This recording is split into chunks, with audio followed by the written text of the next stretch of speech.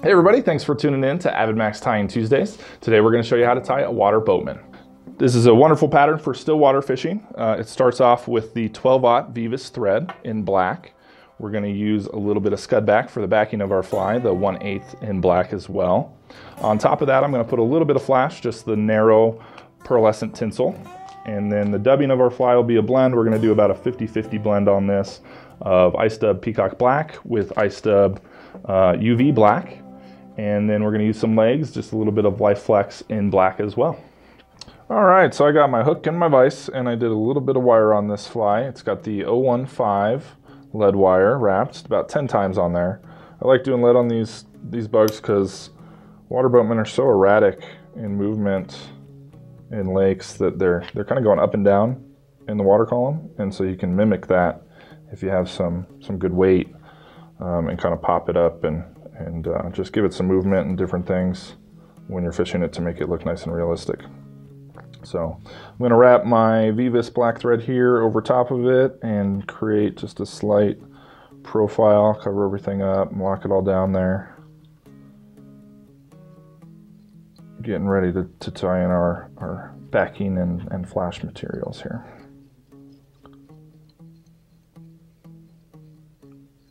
So it doesn't have to be pretty, just something to lock it in. I always tend to overdo my thread wraps there a little bit, but uh, just covering it up, locking it in.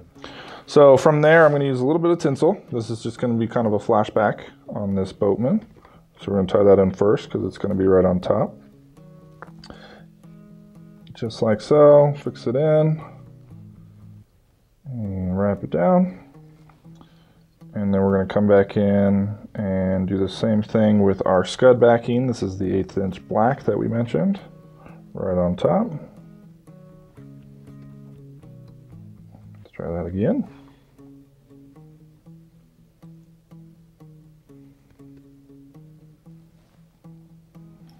Didn't want to behave, so let's spin our thread there, give it a nice pinch wrap here. Just like so, there we go. And we just want to keep it right on top. It's going to be the backing of our boatman. And then we'll have an underbody and, and some legs up here towards the fronts. So once that's nice and clean where we want it, just kind of make sure, just go in the direction here. There we are. We're going to add our dubbing now.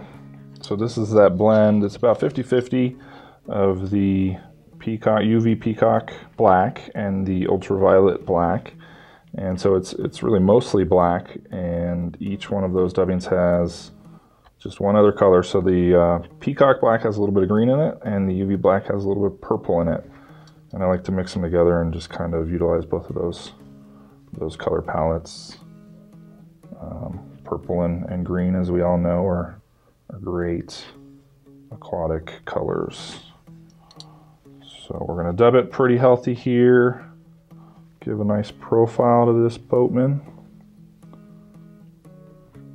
If you uh, have some back swimmers in your location, you can do this same pattern, just uh, a little bit larger, and it'll imitate those as well.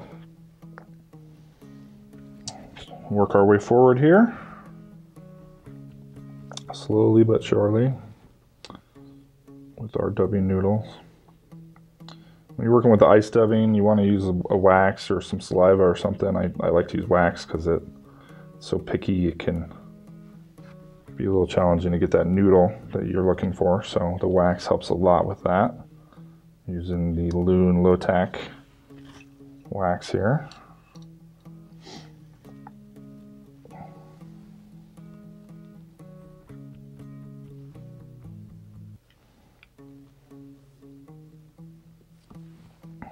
And just keep on going all the way up to the front of our fly.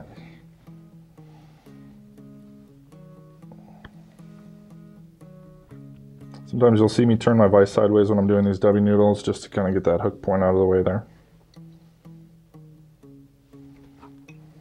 Don't always do it, but it is helpful to just move that out of the way.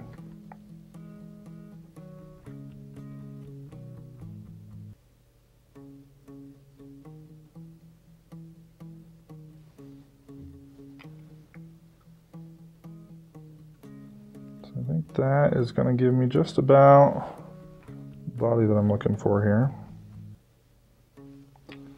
And so now we can come on up and bring that scud back over.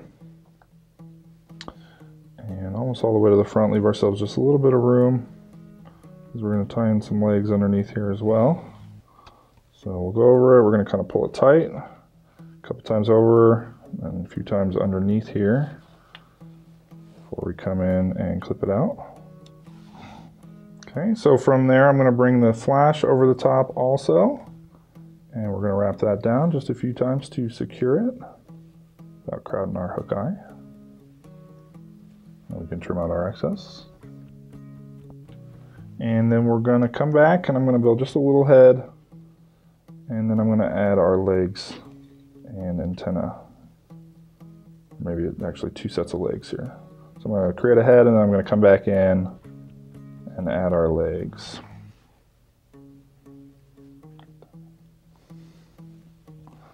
So with this Life Flex, you can see it has a, a prominent bend in it. So you want to be aware of that as you're tying it in. You want it facing inwards towards the bug, and I'll show you that here. Just like so. And kind of position it how we want it, but you can see how it kind of flares back towards the body of the fly. That's what we're looking for. And then on the front, I'm going to come in and I'm going to clip it, but I'm going to leave just a little bit sticking out to give that secondary pair of, of legs that they have.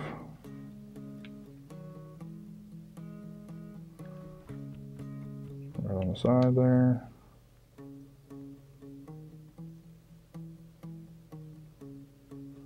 Just like so.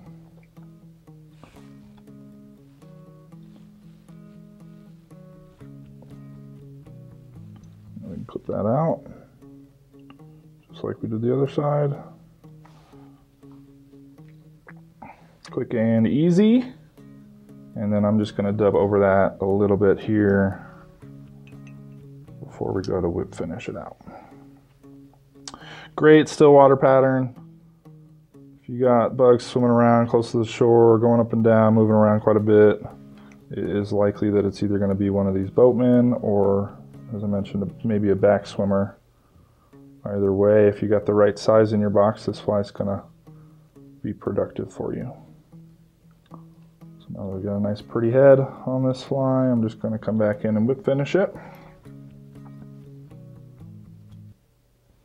Like so. Pull our legs out of the way here.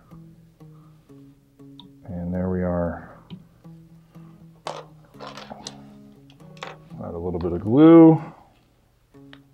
Keep everything locked in. And we got ourselves a nice completed water boatman. Great fly. This is actually the first fly that I ever tied and caught a fish on. So it is definitely worth whipping out. There's your water boatman.